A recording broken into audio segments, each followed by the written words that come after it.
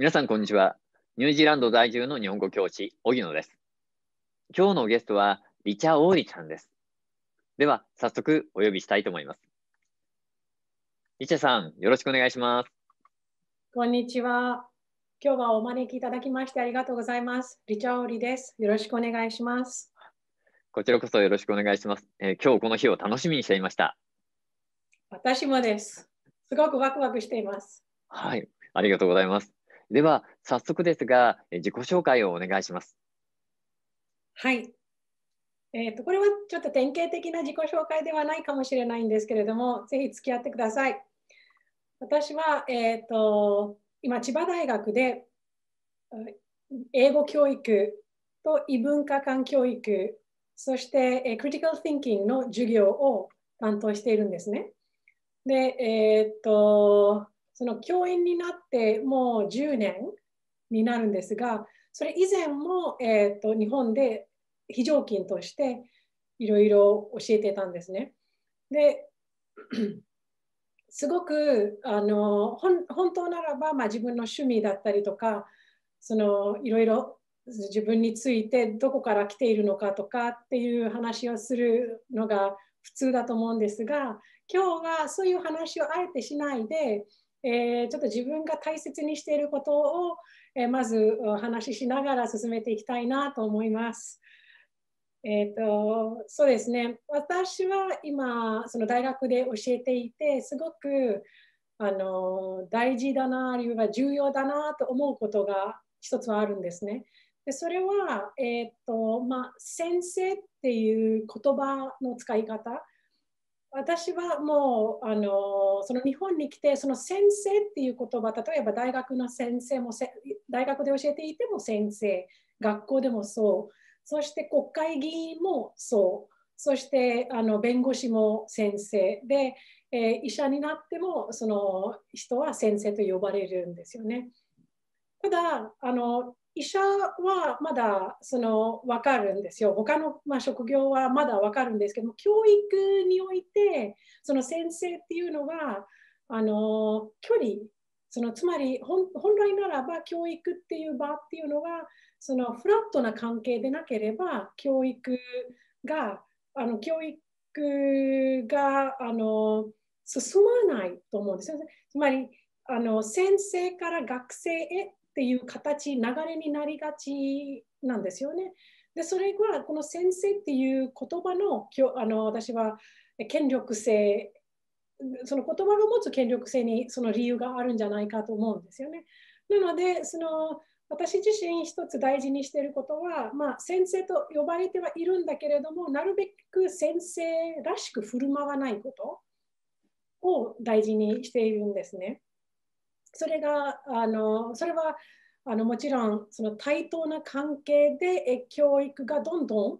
その私も実は学ぶことがいっぱいありあの学生も学ぶ学生から学ぶことが非常に多いんですよね毎日のように学びがに満ちている毎日なのでで学生も私の経験から知識から学ぶことがいっぱいあるので大体フラフラットな関係だと思うんですよ。で、えあのたまたま私の方があることについての知識が多いだけであって別にあのだから私はそういう先生っていう立場あるいはそういう言葉であのなんだなんだろうその権力を持ってしまうっていうのはちょっとあのあまり居心地が良くないなと思っているのでなるべくフラットに接していきたいなっていうことを心がけている人です。それが一つとで自分についてもう一つあのお伝えしますとなんかなんだろうその私はそれ人間っていうのは本当にちっぽけなものだと思うんですよね存在としては。そして大したことではない私だし私の代わりはいくらでもあるのでだからその代わりのもの代わりがあるものという認識を、まあ、教育の現場では忘れてはいけないっていうふうに思っていてでそうするとだからなおさら先生っていうその立場自分が上にあるっていうような立場はあの、まあ、まあまり個人的にはあの自分は向いてないなっていうふうに思います。でその言葉にある意味合い、権力性はあんまり好きじゃないかなっていうことがもう一つと、そして、えーと、もう一つ大切にしているのはですね、自分自身と向き合うことなんですね。で自分自身と向き合うことっていうのは、えーと例えば一日の中であるいは一つの授業をが終わった後でも私は完璧な人間ではないのでどこを間違えたのかとか自分の発言のどこが良くなかったのかとかあるいは学生がこういう問いを私に投げたのにその問いの意味がちゃんと理解できてないまんま授業が終わってしまったんだ終わってしまうことがあったりするんですね。でそれはなぜなのかとかっていうことを、まあ、ちょっと実感一日にあの何分か、それについて考えることは、まあ、ほぼ毎回あの持っているっていうことなんですね。それはあのそれをやることで、えー、あやっぱり自分はいっぱい間違いを犯してしまう人間なんだっていうことに気がつくのででなおさらまたその先生っていうのはあの学生とほぼ何も学ぶ立場でもあるのでほぼ何も変わらないんじゃないかというふうに思うことなんですね。とあとですね、えー、っとその最後に自分について言うとですね自分は自分のアイデンティティっていうのは私自身で決めていきたいものだと私は思うんですよね。まあ、私だけじゃないんだけれどもそれは例えばですけれども自己紹介っていう言葉があるとします。でその自己紹介で普通語られていることはこういうものなんだっていうふうに例えばあったとします。でそれに沿って私も同じことをやらなきゃいけない。というような形ではなくて自分は自分らしく語りたいでそのための多分今日の企画もそういう企画だとあの私は認識しているのででそうするとこれが実は私はこういう言葉で自分を語っていきたいんです。で今あのこのこれ自己紹介の場なんだけれどもあるいはこのタイミングなんだけれどもそれ自己紹介の中でも私は自分をこういうふうに紹介していきたい。ということで、えー、っといくつか、まあ、自分が大切にしていることあ人間として大切にしていることを、まあ、自分の自己紹介の一つとしてあの言ってみました。ありがとうございます。はい、どうもありがとうございます。えー、自己紹介ということですが、うん、そこの中に先生という言葉が持つ権力性、うん、それから自分自身と向き合う時間を必ず取る、え、いろいろなことが入っていて、うん、今の自己紹介ですごく勉強になりました。そして今の、まあ、人間という言葉は何回かお使いになりましたけど、TED Talk の中でも、その TED Talk 依頼されたときに、プロフィールを書くときに、人間っていうふうに書いたというエピソードをお話になっていましたが、まあ、今のお話も含めて、リチャさんという人を、それが、まあ、表してるのかなっていうふうに思いました。どうもありがとうございます。はい。そして、視聴者の皆さんに僕とリチャさんの出会いについて、ここでちょっとだけお話をさせていただきたいんですが、えー、ニさんのことを初めて知ったのは、1月にあった、え、言語文化教育研究学会の細川秀夫先生の発表に関連した時のコメント、その時にリサさんのことを初めて知ったんですね。そして、その時の発言で、リサさんの言葉には心というか魂がこもってるというふうに感じて、そこで、まあ、人間的関心を持って、その後でリチャさんのウェブサイトや、それから先ほど言った TED Talk なども視聴させていただきました。そして、その TED Talk は教育と愛という、そういうタイトルでお話をされていて、そこでも魂がこもってる。魂というか、うん、こう社会をより良いものに変えていこうっていう決意、そういったものをすごく強く感じて、ぜひお話を伺いたいと思っていたんですね。ありがとうございます。でも、見ず知らずの僕からメッセージがあの届いたので、初めびっくりされたんじゃないですか。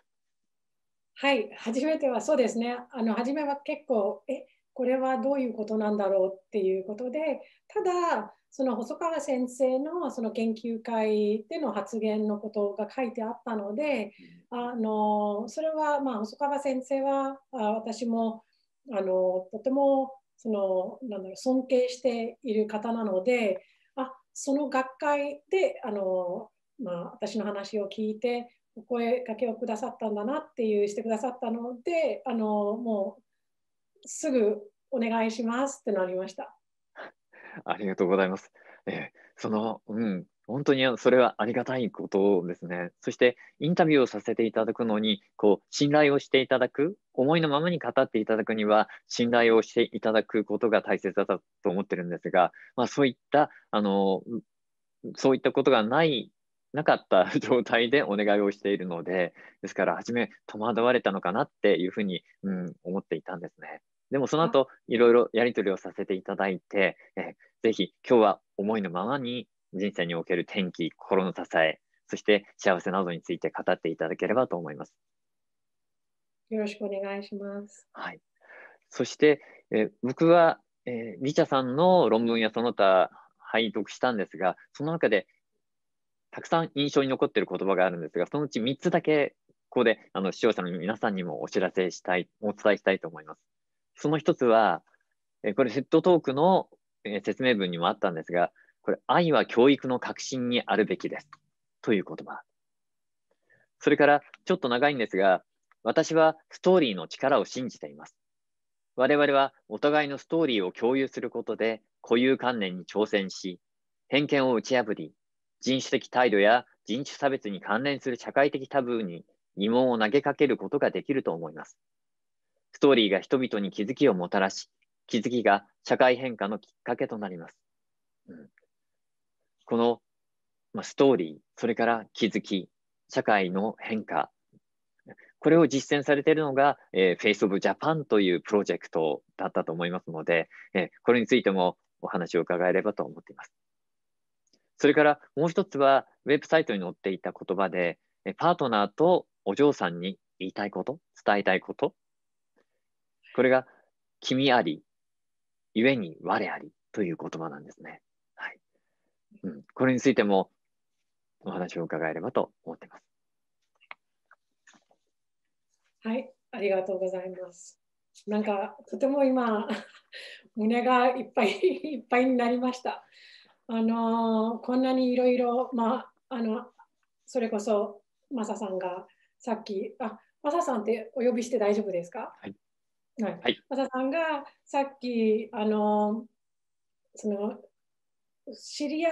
えたのが1月ですよね。1月にマサさんからそのメッセージをいただきまして、そして、えー、っと最初はあれ？と思ったんですけれども、まあ、細川先生のあの研究会での発言っていうことで、まあ、そこでもう、あならっていうことで、そして私もそのマサさんのあの YouTube のビデオをあのいろいろあのはあの見見て、えー、とっても素晴らしい企画だなと思ったんですね。あのまあ、このにその私が例えば自分のウェブサイトとかどこかで言った言葉をそれをマサさんがこうやって探していただきましてですね。それをこうやってあのあこういうこともそういえばあの時書いたなとかあの時言ったんだよなっていう思いをあがすごく今あのいろいろな思いがその一緒に今すごいなんか英語で言うと overwhelming っていう今すごい感情にいろいろな感情にあふれて 溢れているこの瞬間があるんですね。それで、えっ、と、はい、もちろんです。あの、もう、すべてこの3つの言葉をそのまま今日あの自分のあの話を、えー、そのするにあたってこの3つの言葉についてももちろんお話ししていきたいなと思います。はい、どうもありがとうございます。ぜひよろしくお願いします。はい、ではえ、人生の転機などについて伺う前に、現在の教育実践や研究についてもまずお話を伺えればと思っています。はい。えっと、最近ですね、私は主に2つのことをやっているんですね。あのまず実践について、えー、なんですが、その授業の、えー、授業以外にですね、今、New Face of Japan っていうプロジェクトを立ち上げたんですね。で、これは去年、あ一昨年ですかね。あの私は自分自身がすごく学生に恵まれている存在だなと思うんですよ。で、えー、中でももうあのいろいろなアドバイスをくれたりそしていろいろなあのその、まあ、学びももちろんなんですけれどもこういうふうに授業をより良い授業にできないかっていうことを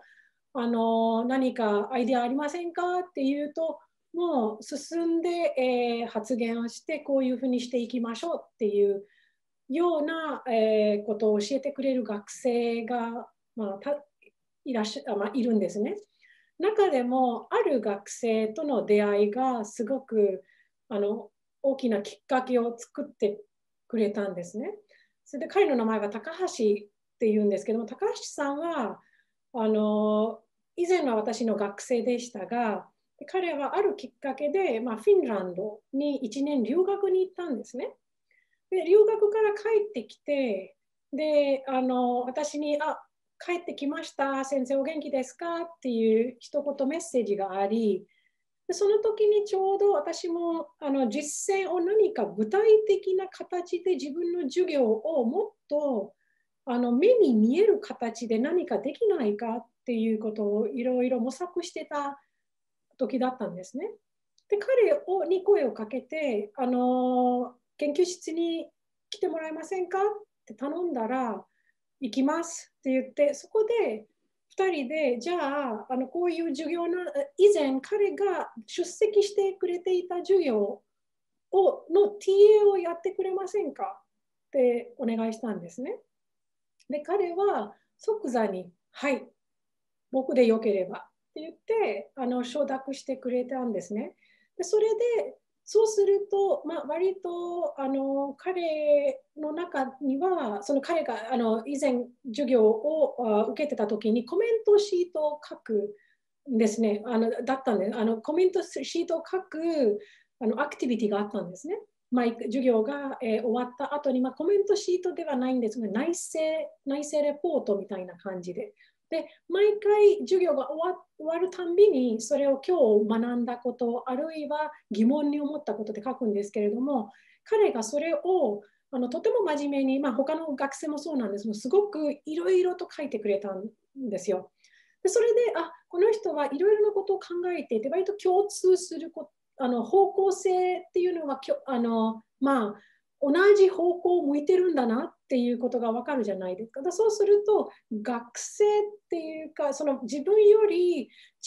知識を持っているあるもう一人の人間がそこに私がや今やろうとしているプロジェクトあるいは何か今後のための授業に加わるととてもいいことができるんじゃないかっていうふうに思ってたんですね。でそれを彼はすごく快く承諾してくれたことであの New Face of Japan っていうプロジェクトをこういうふうにやりたいんだけれどもどう？っていうことを相談したらいやぜひやってください。で僕にできることは僕がやります。っていうことを言ってくださあ言ってくれたんですね。そのプロジェクトはどういうことかっていうと私は異文化あのそのクリティカル・ティンキングを促す異文化間教育をっていう授業そういうタイトルの授業をやってましてでそこであのその授業の中であのたまたまなんですけれどもあるあのそのいろまあ、基本的にアクティブラーニングの授業なので、えー、講義というよりかはあのいくつかの課題についてみんなで考えていくんですね。でそれでディスカッションの中である学生がハーフの学ハーフっていうのは、まあ、ミックスルーツの学生でで、えー、あのお父さんが黒人で日本人のお母さんが彼はいてですねで彼がそのディスカッションをしているしていてですね泣いてしまったんですね。でそれあの学生が泣くっていうのはよっぽどのことですよね。普通学生が授業を受けてて泣くことはないのででそうしたらあのそれはで彼がみんなと共有したいっていう、まあ、僕はなぜ今そこまで感情が溢れ出したのか溢れ出たのかっていうことを共有したいっていうことでそれはあの彼が共有してくれたことがですね、私が以前経験したこととほほぼ重なったんですよね、似ていた。そして私だけじゃなくて自分の娘が今経験していることとも重なる。ということで、あ私が経験してきたことと自分の娘が経験していること、学生がけあの経験していることっていうのはすごく重なる部分がある。じゃあこの重な重なる部分って何なのかっていうことをもう少し可視化しようじゃないか。ということで、そういうあの方、そういう学生をあの対話式のインタビューをしようっていうことになり、これはあの高橋さんもそうなんだけれども、他の学生もこういうことできないかっていうことで、それで、まあ、その参加してくださる、くれる学生と一緒に、そういう対話式インタビューを計画して、それをだんだん、その、まあ、編集して載せていくっていう。そうすると結局、日本ではまだ知られてない我々のストーリーをに声を、あの、なんかそれこそ声に出して私たちは自分のストーリーを語っていくんだっていう、まあ、そこにそういう思いがあるわけなんですね。でそこからそのストーリーを聞いている人がいるじゃないですか。でそうするとその聞いている人もまた重なるあの部分があったりするだろうしあるいは、まあ、今は興味はないんだけれどもでも記憶にどこか記憶のどこかに残っていてまた今後それが、あやっぱりそういえばあのとこ時にあの聞いたインタビューの中でこういうことあったなっていうのでそれでそれが重なる時もあるだろうし何か気づきがあるが自分の発言がこういうあの結果をなあの生んでいたのかとかそういう結果につながっていたのかっていうことをちょっと期待してですねそういうプロジェクトを始めているんですね。これが実践で研究っていうのは今科研がありましてでその科研では異文化間教育を見直していくの脱植民地化とはどういうことなのか、どういうふうにそれが可能になるのかということを慶應義塾大学の杉原さん、杉原先生と一緒にやっています。はい、はい、どうもありがとうございます。うんでまあ、教育実践、それからまあ研究について今もお話を伺いました。でその Face of Japan というのはウェブサイトがあるので、え概要欄にリンクを貼っておきますので、えその動画、それからポスターもありますね。そして、え西田さんご自身のプロフィールもそこに入っているので、ぜひご覧にあ、え見ていただければと思います。はい。ありがとうございます。ありがとうございます。えそういう経緯があって、あの Face of Japan が立ち上がったんですね。はい。New Face of Japan ですね。あ New Face of Japan。そうですね。はい。はい、失礼しました。はい。ありがとうございます。はい。うんえー、ぜひあのたくさんの方に、えー、見ていただければと思います。ありがとうございます。ぜひ。はい。それでは、えー、人生における転機というこのテーマに入っていきたいと思います。はい、では、リシタさんの人生における転機、よろしくお願いします。はい。えっと、今日、まあ、いろいろあるんですが、今日はですね、主に3つについてちょっとお話ししたいなと思います。あの1つ目は、えっと、私が修士課程、実は日本に来て、修士は日本で取ったんですね。でその修士課程、修士課程は、えー、お茶の水女子大学での修士をあの修士課程に入ったんですが、そこが一番の、一番目、今日私が今日みんなと共有したい天気、一番目の天気の、その、まあ、天気になった、あの、その、なんだろう、まあ、天気になった、その、なんて言うんでしょうかね、天気になった出来事。出来事、出来事。出来事でしょうか、それとも、その、あお茶の水女子大学に入ったことが最初の転機なんですね。で、えっ、とあの私はそのこのお茶の水女子お茶大に入るまで、えーまあ、自分の人生を振り返ってみると、うんすごく生かされて、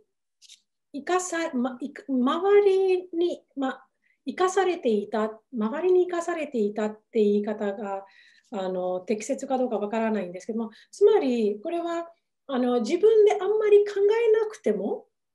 あの周りが言うように、えー、生きてきたっていう意味なんですね。それで、えーと、例えば、えー、私はそのどういう人間なのかっていうことを自分はあの知っているつもりだったんですけれどもでも自分が知っているよりかは相手が私にあなたはこうだよねって言われて私はそうだよねっていうそれを多分生きていたように思うんですね。で、えー、そうそうすると、まあ、言語教育についてもそうなんですね。で修士は私は日本語教育なんです。でそのその時もあの日本語とは母語話者がしゃべる規範がその教育の規範であるべきだ。でそこを私は目指すべきだ。でそのノームに従わないと私は良くないのだ。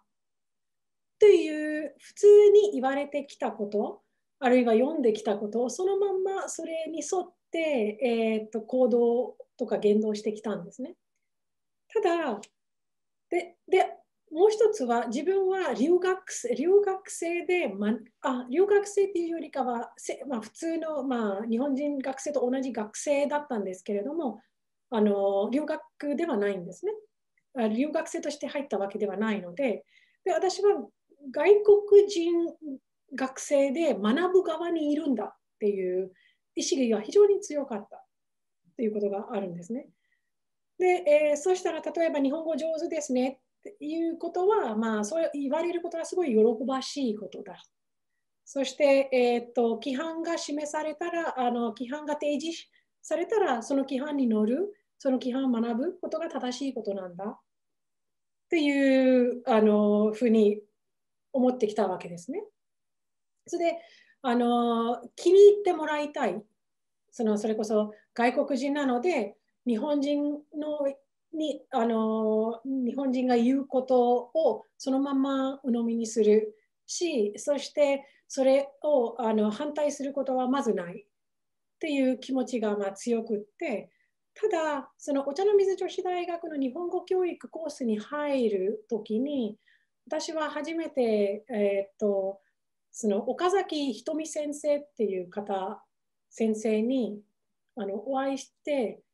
とってもあの感銘を受けたんですね。まず女性めちゃくちゃパワフルな女性の教授に出会えた気がしたんです。そのパワフルっていうのはとりあえず自分で考えて自分で行動されている、まあ、当然ですが私にとってはそれはまだあのすごく若かったのであのそれがすすごいな先生こんなにもあの人を批判できるんだっていう 先生は割とあの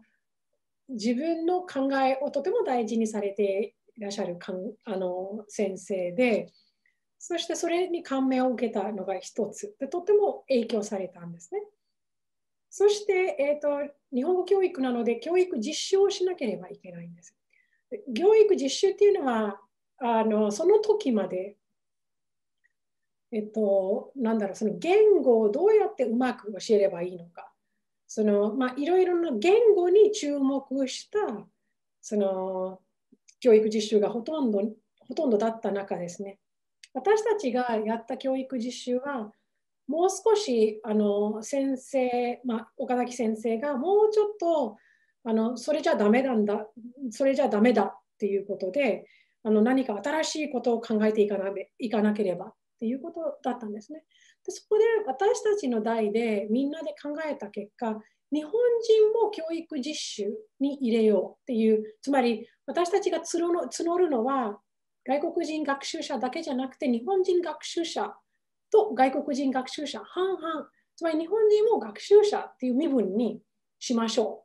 うということを初めて企画してで岡崎先生はそれにあのそれをあそれはすごくいいことだっておっしゃってくださったんですね。つまり、そこが私にとっては一つの、あの今日私がのいろいろ考えられているその、そこに原点があるわけなんですね。つまり、今まで考えてきた自分は外国人で学ぶ側で、その気に入られなければダメなんだ。規範が示されたらそれにあの沿って行動を限度しなければいけないのだっていう考え方からだんだんだんだんそうじゃなくてここに自分らしくいていいんだ学ぶ側は私だけじゃなくて全ての人間が学ぶ側だっていうことがすごく大きな転機の一つだったんですね。それでそれをあの学んでいる間間にっていうかそれは家庭の中でですね私はあの細川早稲田あの大学の細川先生の存在を初めて知ったんですね。それも本を通してです。で、えっ、ー、と、その岡崎先生とまた違う、あの、まあ、違う、なんだろう、オーラでしょうか。すごく、なんか、細川先生は私は直接たくさん話したことはないんですけれども、ただ、あの、一つ言えることは、あの先生を見ると、あるいは先生の本を読んでいると、I can breathe という気持ちになるんですよ。つまり自分の存このまんまの存在をとてもあの優しくあ、まあ、受け入れるじゃない、受け入れるっていう言葉はここはふさわしくないんだけれども、それをとっても優しく、あのまあ、優しくどういう動詞がいいんでしょうかね。受け入れるっていうのはまた、なんだろう、その先生がすごく上の存在で、ああの私の気持ちの中ではそうなんですよ。ただ、細川先生自身、ご自身がそういうあのことではないと思うんですよね。だから、ああのリチャ・オーリはリチャ・オーリでいていいんだよっていうことをメッセージをすごく何何度も受けたわけなんですよ。それそして、それがすごく届いてですね。で、私がその細川先生研究室主催の研究会に研究会で発表した時もそうですしその先生があの先生のその研究会が発行していたジャーナル、リトラシーズというジャーナルがあって、そこに投稿したことがあるんですけども、その投稿が初めての私の批判的なその論文の出発点があそこなんですよ。で、なんかすごく今ワクワクするのは、こんな批判的なものを、そうなんそうなんです、そうなんです。このあの批判的な内容をとっても普通にふあいいんじゃない？っていうことで、えー、あのえ、それこそ承諾してくださるっていうか採用その論文が採用されたんですねで。絶対拒否されるだろうっていうふうになぜかあの思ってたんですけどそうじゃなくってとてもでその後もまたあのアリスっていう研究会が一つの私のベースになってるんですよね。私はその研究会にかあのその会員としてしか関わってないんですけどもそこにいる所属している方々そあの佐藤真二さんとか古谷さんとかあのもちろん細川先生もそうなんですけれどもだ宇一さんもそうなんですよね。だかそういう方々がいてとっても自分の居場所の一つなんですよね。だからそういうのが一つのこういう方々との出会いが一つの転機になりましてで2番目の転機が全く話が変わるんですけれどもそのあの子供が生まれたことが一つの転機になっているわけなんですね。でこれはま人間の、まあ、生命の誕生っていうのもそうなんですけれどもその感動はもちろんあったんですがそれと同じぐらい私は育児っていうのは自分を育むことができた。自分がすごく学びに満ちた。今もそうなんですけど時間期間なんですよね。ものすごく学んだんですよ。いろいろなことを学びあので一番に学んだことっていうのは人間として生きるっていうのはどういうことなのかっていう。子供っていうのは何もできない。本当に小さいのでそのあの100%私に、私の夫にあの依存、依存っていうんですか、なんていうんですかね、ディペンド100%ですよね。で、その人間を私はどうやって大切に育てていくのか。で、そうするといっぱい苦悩もありますし、あのえ、どうすればいいんだとかっていう考えながら、あの私は子育てをして今、今もそうなんですしているわけなんですね。で、えー、私の母とか、そのおばあはいいんだよ、そのにあの子供っていうのはほったらかしほったらかしにしても育つんだからていう口癖のように言ってくるんですよ。ただ私にとっては愛しいあの存在なので、あのいや、ほったらかしにできない。で、えー、だから一つずつこのあの大切にして自分が多分それはまあ自己中かもしれないんですけど大切に瞬間一つの瞬間をそのそのそれそこしかない瞬間を大切にしていきたいっていう気持ちがすごくあったんですね。でそうするとなんかなんだなんか人間力だったりとか人間とは何なのかとかそのあ、まあ、自分も自分も何ができないのかとか自分の限界だったりとかにも気づいたんですね。でそれが結果的に自分の研究だったりとか仕事にもつながっていくわけですね。自分の人間としての限界ってあここにあるんだ。だからつまり自分の子供にできないことっていうのは学生にもできないんじゃないかっていうことでちょっと止まって考えさせられるっていうこと。で実はそのあのそこで子育てをしていく中で私はその人間は共通の感情があるんじゃないかと思うわけなんですね。悲しみだったり基本の感情嬉しさだったりとか例えば今私はマサさんとこうやって話をしているんですけどもそれは日本人のマサさんではなくて一人のまだ人間のマサさんですよね。でそれが私にとっては非常に重要であるっていうことがに気がついたことが、まあ、一番大きかったことで。でそれが私にとって well-being とは何かっていう。でこれ well-being について私は基本なんか本とかを読んでないんですよ。読まないようにしているんですね。なぜならばそのよく生きることあるいはそのあの例えば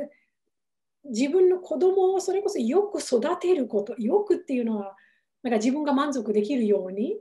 育てることって何なのかって考えていくと例えばですけれども私はあの妹がヨーロッパ在住なんですね。で彼女はヨーロッパの国籍、まあ、ヨーロッパとかフランスの国籍を持っていてフランスにいるんです。で彼女のその子育ての方針っていうのは、まあ、例えば子供が生まれたらそれは子供の部屋があってその夜あの子供が泣いてもまあまあお腹はいっぱいだろうからそんないいんだっていう考えがあるんですね。それは自立、子供に自立してほしいっていう考えが彼女にはあってですね。で、ただ私はこれについて、えっ、ー、と、そうじゃなくて、たとまあ、私は、まあ、それこそ well-being っていう観点から言わせると、そうじゃなくて自立は後でいいんだ。まずは子供が泣いてるんだったら子供は何が欲しいかっていうことに答えなきゃっていうのが自分の中ではその逆のあれがあったわけなんですね。だから子供はずっとまあほぼ私と夫と寝かせる。そして、えー、全て共有する。あのー、その時間も。だってだもうあっという間に大きくなり、もう今としてはもうなんか1日でもう1時間会うか会わないかぐらいですから。であのそういう感覚をすごく私は大事にしていきたい。と思ったわけなんですね。で私にとってはそれがよく生きることっていうのは子供を通して学んだことなんですね。Well-being っていうのはあの例えば自分のメンタル well-being もそうだし、あの physical well-being もそうだし、emotional well-being もそうだし、social well-being もそうですね。だからそのメンタルというかどういうあの子供の精神状態今泣いているっていうことは子供はあの親と一緒にいたいお腹がいっぱいでもだからそれに応えなきゃ。そうすると子供にその感情がきっと芽生えるんだっていう。っていうことだったりとか、フィジカルっていうのは自分が健康でなければ子供子育てもちゃんとできないと。でそうすると自分の健康につながる活動ご飯食べ物をしなきゃあの食べなきゃいけない。エモーショナルウェルビーンっていうのは夫にいっぱい頼ることとか夫が私に頼ることとかというでそうしたらお互い頼り合って子育てをしていく。で子供が少し大きくなったら子供に、いや、今、ママは辛いんだ。だから、あなたはこういうことをしてほしいだろうけれども、今はできないよっていうことをシェアして、でそうすると、子供も同じように、ママはそういうことをきあの期待しているんだけれども、私にはそれは無理なんだ。っていうことが言えるようになってほしいからっていうので、例えば、エモーショナルウェルビーング、精神的なウェルビーングがそこにありますね。で、ソーシャルウェルビーングっていうのは、例えばママ友とのあのつながりを持って、で、そのつながりの中で気づいたこともいっぱいあるんですね。だから女性とそのしてのその自分の役割だったりとか、あるいは他の女性が抱えている辛さだったりとか、ということで、まあ、総合的に言えば、すごく私にとっては子育てっていうのは、ウェルビーング、よく生きることとは何なのかっていうことを教わった気がするんです。それが一つの転機になります。だから長くなってしまってるんですけど大丈夫でしょうか？もう一つありますが、でさまあ、あの今、ちょうどですね、私は千葉大学で教えているんですけど、それが3番目の転機になるんですね。でこれはあのその千葉大学で、え教えているその科目とか、そこでの出会いだったり、学生との出会いだったりとか、教職員との出会い、みんなにあのすごく支えられていてあの自分が実現しようとしていることを丁寧に説明していくと学生も答えてくれるしそしてあの、まあ、今今そういうその教職員の方たちもすごく応援してくれる。のでその New Face of Japan というプロジェクトもそれで可能になってますしそしてあの、まあ、さっき言った、まあ、高橋君との出会いもそこですごく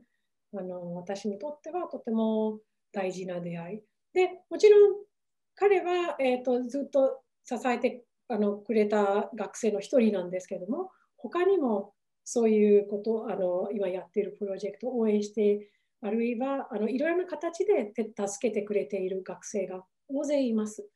なので、うん、あの自分はあのあなんかこういう方法あすみませんこういう方向性に進めばいいんだなっていう後押しをしてくれているような気がするんですね。それが今私にとってまた一つの新しい転機っていうんですかねになった気がします。はい、どうもありがとうございます。えまあ、お茶の水女子大に入った時のが、まあ、一つの転機、そしてえこの出産、それから育児を通して、ご自身がこう育まれているという感覚を持ったという、うん、その転機、まあ、そこからウェルビーイングのお話にもつながっていきました。それから現在お住みになっている千葉大学での、まあ、学生さんや教職員の方たちとの、まあ、出会いっていったものが、うん、転機になっているということですね。えー、そして、えー、西田さんのエネルギーのもとは、学生っていうふうにどこかに書いてあったと思うんですけど、えー、今お話を伺っていて、うん、その学生さんからエネルギーをもらってるんだっていうことも、あ、そういうことなんだというふうに感じていました。はい、ありがとうございます。えいろいろなキーワードがあったので、うん、ご視聴になっている皆さんもこういろいろな気づきがあったかと思います。はい、どうもありがとうございます。では、え今少し出てきたかもしれませんが、次は心の支えということについてお願いします。はい。そうですね。心の支えっていうのは多分、まあ、さっきの話の中にもあった方々なんですね。もちろんあの家族もそうですし、家族なしでは多分あの自分が今やってる活動も自分がここにいることもなかっただろうっていうふうには思っています。そして、えーと、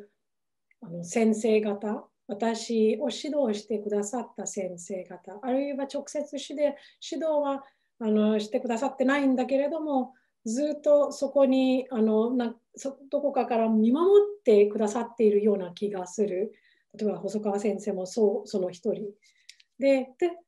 仲間あの自分が私が今やっているプロジェクトあるいは書いた論文を読んで反応してくださる仲間が大勢いることで、えーと、彼らの励まし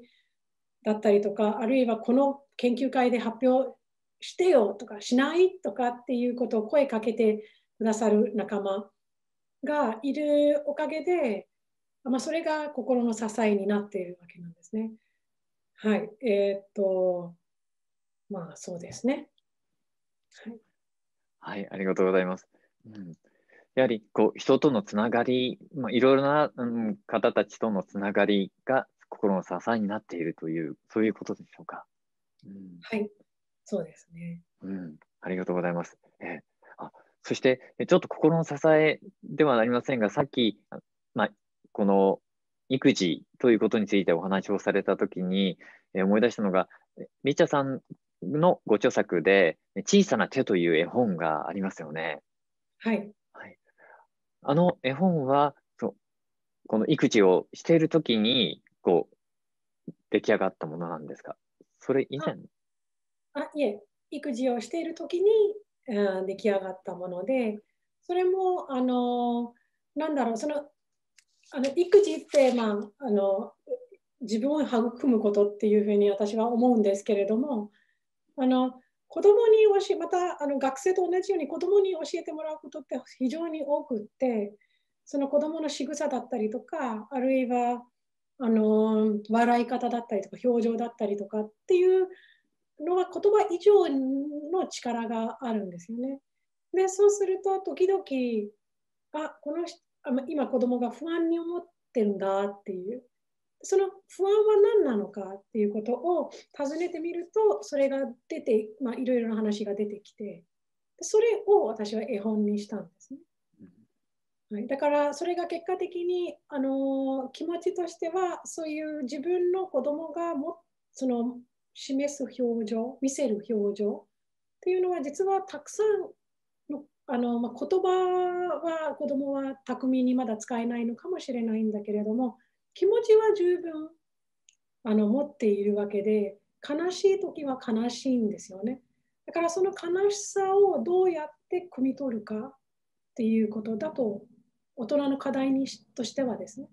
それをどうやって汲み取ってそれをどうやって理解して理解したよっていうことを言うか伝えるかそれで十分かなとまずあの子供にとっては。それが汲み取ってもらえないっていうのは寂しいだろうなっていうふうに思ってたからそのとりあえずまずは何かを形に残さないとっていうことで絵本にしました。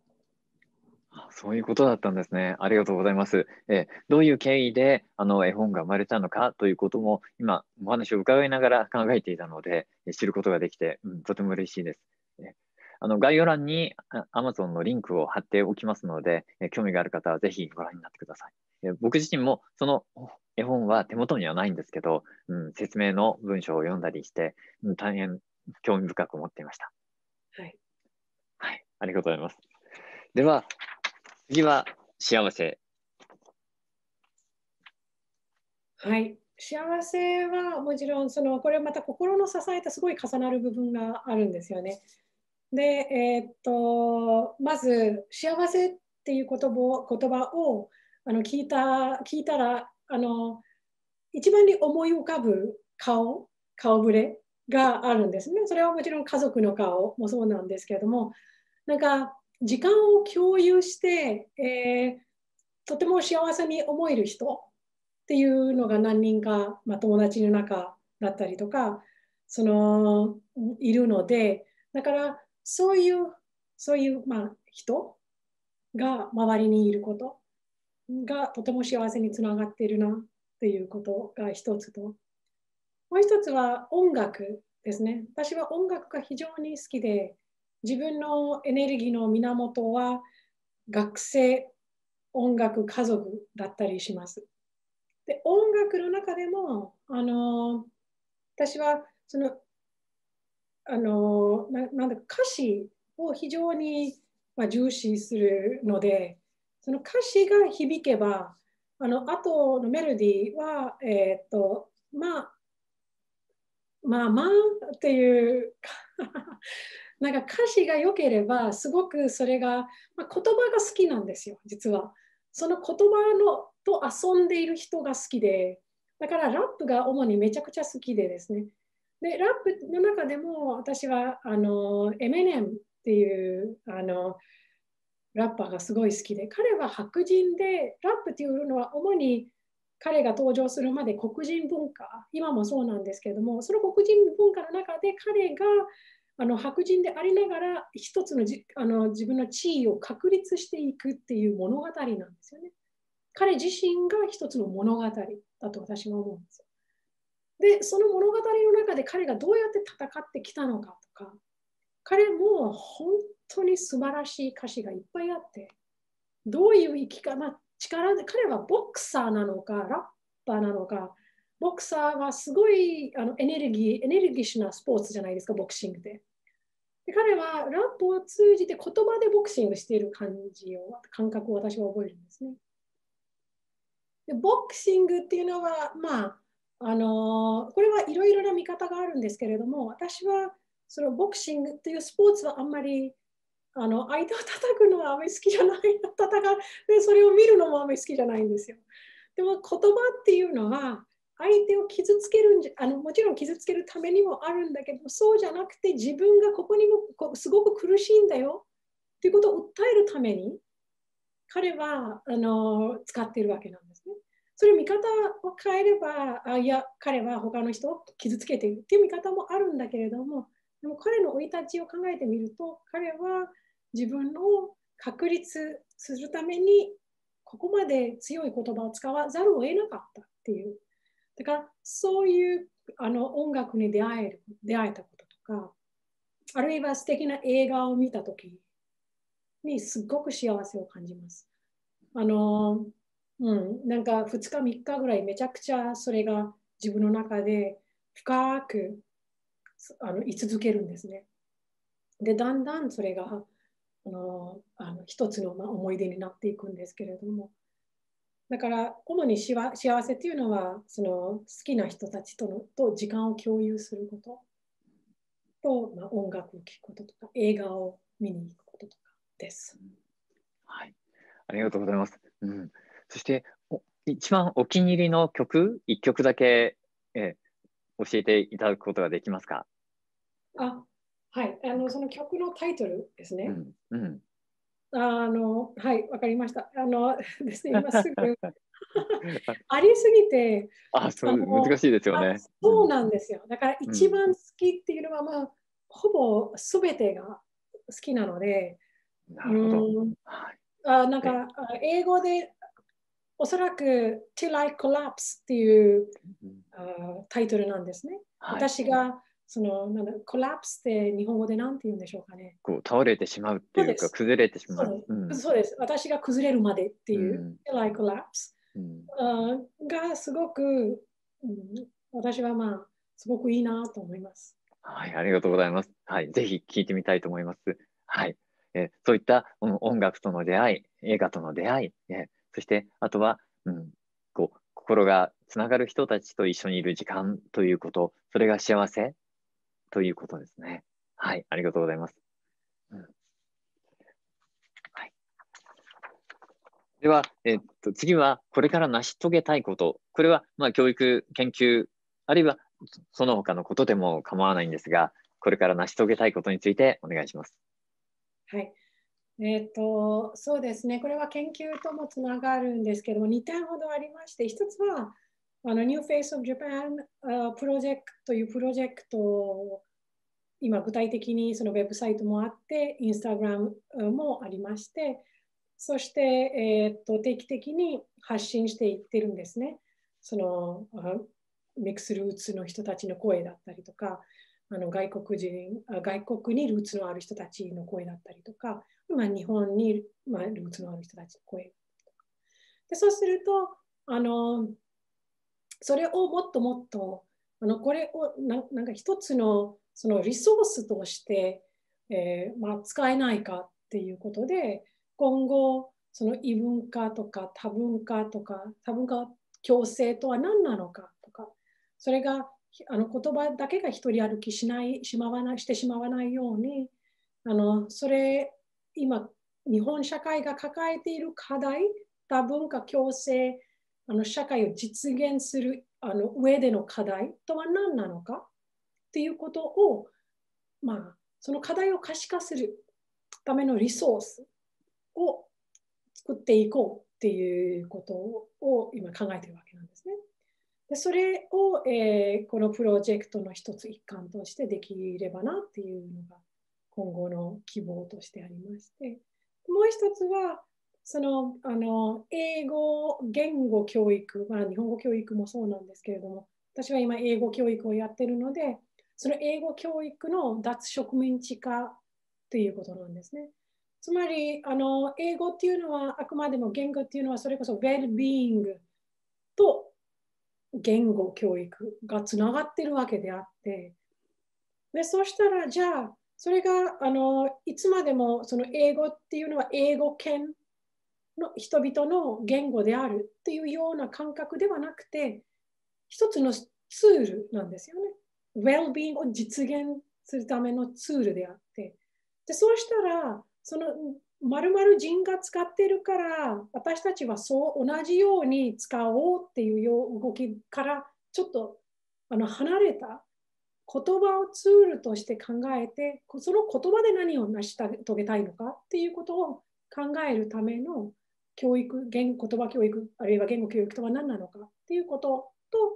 あとその異文化間教育もすごくあのステレオタイプ的なあのまあ、事例がまだまだ多く使われていましてそこもどう脱植民地化できるかっていう Decolonization of Intercultural Communication ということも今後の課題として、えー、それを今やっていきたいなっていうふうに。はい、どうもありがとうございます。まず一つは、まあ、多文化共生社会の課題、それを可視化していくということ。それは、えー、 New Face of Japan が一つのベースになるということなんですね。うん、それから、まあ、異文化に関して、こう、だ、まあ、言語教育、英語教育の脱植民地化ということ。うん。これもすごく大きな課題ですが、えー、これからの展開を楽しみにしています。ありがとうございます。はい。では、え最後に、えー、最も伝えたいこと、あるいは大切にしている価値観や心情についてお願いします。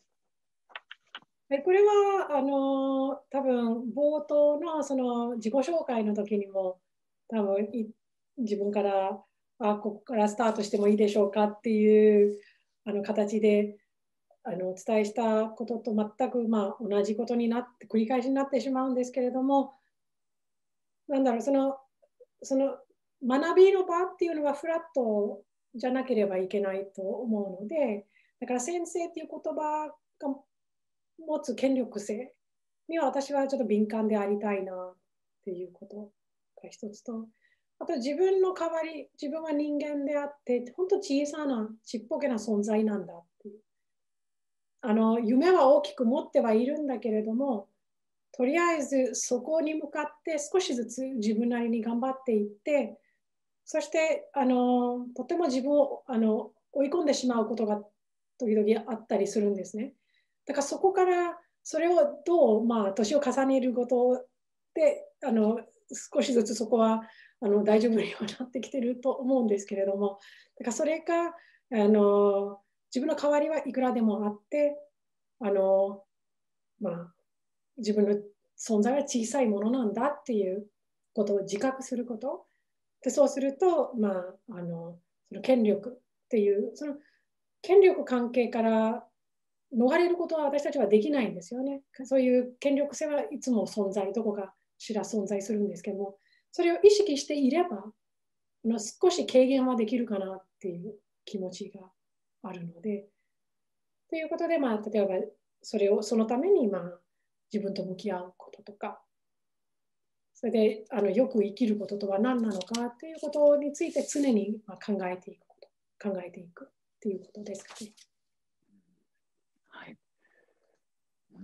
どうもありがとうございます。まあ、僕の関心もウェルビーイングであるので、えー、よく生きるとはどういうことなのか、うん、それは僕にとってもすごく大きなこう課題というか、いつも考えていることなんですね。うん、はい、それそれから一番初めのこう先生という言葉の持つ、まあ、権力性といったこと、うん、やはりそれをいつもこう問題意識の核にお持ちなんだなというふうに感じました。はい。はい、え。あとですね、すみません、一つ付け加えたいんですけれども、はい、最近なんですが、私はそのジェンダーにすごくジェンダー研究にもすごい目覚めたんですね。それもまた子供が生まれてからなんですけれども、それで、あの、あの私があるそのこの本にあの自分が書いたその一章があるんですね。これ、above, above 17, 17番ですね。ここ、一番最後。タイトルは何ですか ?Above and Beyond the Single Story というチャプターなんですけれども、これもあの実はそのジェンダーとウェルビーイングも非常に密接に関係があるので、あの特に男性の方にはぜひあのこういうジェンダーとウェルビング、ジェンダーの観点から観点からもウェルビングとは何なのかっていう、うん、を考えていただきたいなっていう、まあ、だから一緒に考えていきましょうっていうスタンスですかね。うん。はい、ありがとうございます、えー。その本については知らなかったので、えー、後でリンクを、えー、概要欄に貼りたいと思いますので、えー、後で教えてください。はい。はい、Facebook に載ってます。あそうはい、ありがとうございます。えーそう、ウェルビーイング、そのジェンダーの観点からのウェルビーイングということ、その視点は僕にとっても新しいので、はい、ぜひ、え拝読します、はい。はい、ありがとうございます。うん。はい。そして、さらに何かもう一つ付け加えたいことは、言い忘れていたことはありませんか？いや大丈夫ですか？そうですね。はい、大丈夫です。ジェンダーのことをちょっと言い忘れたなと思ったので。はい、ありがとうございます。はい。そして今日のお話の中でいろいろなこう僕自身でも気づきがあったんですが、一つ嬉しかったのは、こう、人間として今、こう、お話をしてくださってるということ、うん、そういうふうにおっしゃってくださったので、それはとても嬉しく思いました。うん、それ、なぜかというと、まあ、テッドトークで、まず、人間というふうにプロフィールに、うん、書かれたというエピソードがありましたけど、まあ、僕自身も、こう、命という、うん、人間、うん、そして命として、こう、えリチャさんのお話を伺っているっていう感覚を持っていたので、ですから、そのことはとても嬉しく思いました。はい、では、えー、皆視聴者の皆さん、今日はリチャ・オーリさんに人生における転機、そして心の支え、幸せなどなど、いろいろお話を伺いました。うん、いろいろ気づきがあって、そしてそれが皆さんの人生をこう素晴らしいものにすることにつながっていけばこれほど嬉しいことはありません。はい、では、リチャさん、え最後に、えこの、え拍手をして、いいねで終わりたいと思います。え今日は貴重なお時間ありがとうございました。ありがとうございました。はい、では、拍手お願いします。せーの、いいね。